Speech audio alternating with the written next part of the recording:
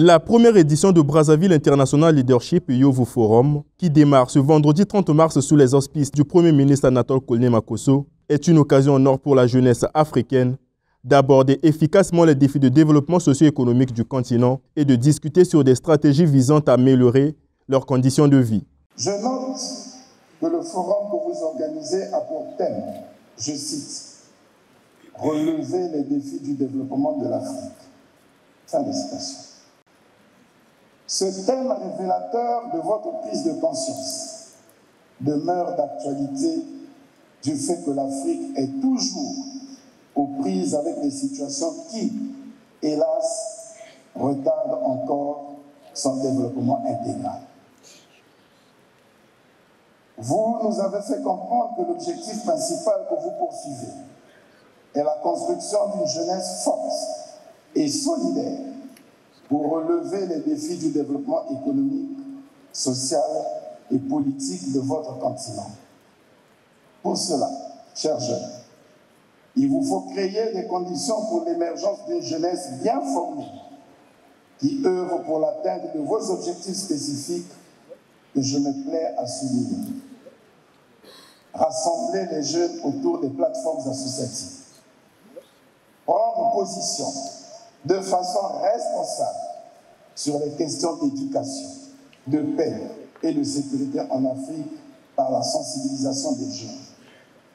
Ce grand rendez-vous est un point de départ d'une dynamique des jeunes du continent ayant décidé de prendre en main leur destin commun et celui de toute l'Afrique par l'entrepreneuriat, le leadership et la prise de décision. Cet événement constitue donc un moyen privilégié de faire converger les orientations et les actions de tous les intervenants en vue de confirmer la jeunesse comme catalyseur de l'intégration régionale à travers une convention de partenariat solide et durable.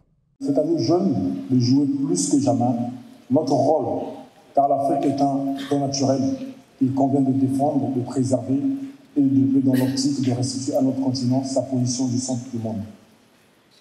L'Afrique a bien été le centre du monde. Elle doit le redevenir, et ce grâce à notre caractère combatif opiniâtre, engagé et débarrassé de la paranoïa coloniale. C'est en effet, à cet effet, je vous invite à méditer ces mots de Kwame Nkrumah.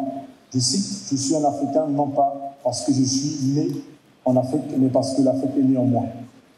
Le Brazzaville International Leadership Youth Forum interpelle tous les jeunes Africains à s'investir résolument dans l'entrepreneuriat social et solidaire, l'engagement citoyen et la promotion des valeurs positives, le relevé du défi de la croissance économique et de la création de richesses de promouvoir l'intégration régionale, de militer pour la justice climatique et la sécurité alimentaire, d'investir en Afrique et de créer une passerelle avec la diaspora pour un transfert de technologie, d'être les artisans de paix, de sécurité, conformément à la Charte africaine de la jeunesse et de l'agenda 2063. Ce forum dans les rideaux baisseront ce vendredi 31 mars se veut donc être innovant et pragmatique, en ce sens qu'il ne s'agira plus de faire l'inventaire, plutôt de savoir comment mieux soutenir et financer ces activités en faveur de la jeunesse.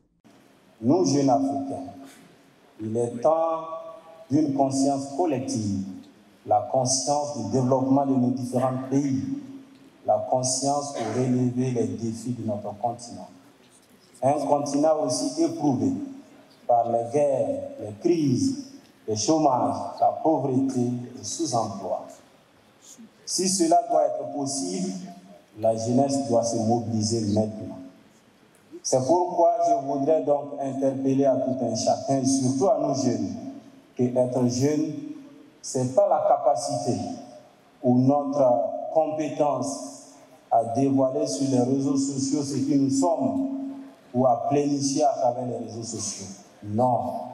Ce n'est pas la longueur donc, de nos messages sur les réseaux sociaux, non. Ce n'est pas notre élégance sur les réseaux sociaux, non c'est notre capacité à apporter des vrais apports pour le développement de nos pays. Le Belief Act 1, qui s'est vu rehaussé par la présence de plusieurs personnalités africaines, a réuni plus de 500 participants.